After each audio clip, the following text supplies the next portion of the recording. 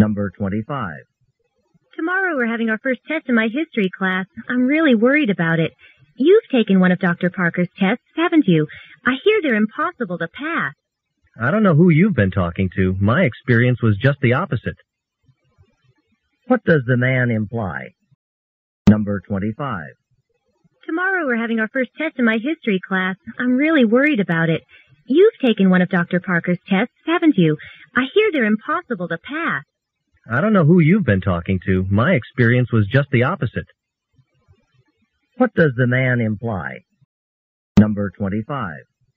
Tomorrow we're having our first test in my history class. I'm really worried about it. You've taken one of Dr. Parker's tests, haven't you? I hear they're impossible to pass. I don't know who you've been talking to. My experience was just the opposite. What does the man imply?